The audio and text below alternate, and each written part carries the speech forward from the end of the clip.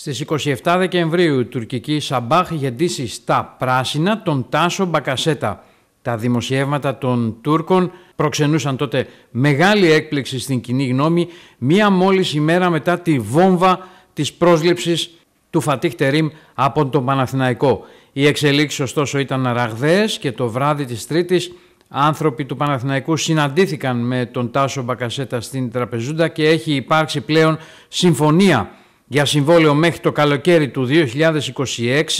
με αιτήσεις απολαβές του ποδοσφαιριστή ύψους 1,5 εκατομμυρίου ευρώ. Οι πράσινοι είναι διατεθειμένοι να τελειώσουν και το θέμα του δεύτερου κεντρικού αμυντικού και ο λόγος για συμφωνία που φαίνεται να ανακοινώνεται σύντομα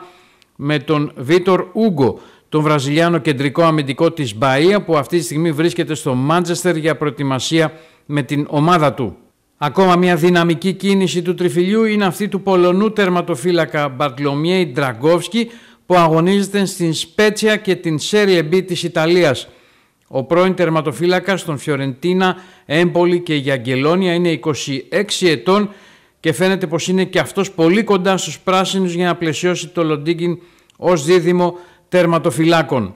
Ο Παναθηναϊκός ψάχνει να ολοκληρώσει ακόμα μια κίνηση που έχει να κάνει με τη μεσαία γραμμή και τη θέση 8. Στα υπόψη είναι ο 29χρονος άσος της Ισπανικής Χετάφε Νεεμάνια Μαξίμοβιτς, ο οποίος φαίνεται τους τελευταίους μήνες να έχει απασχολήσει και το ρεπορτάζ του ΠΑΟΚ.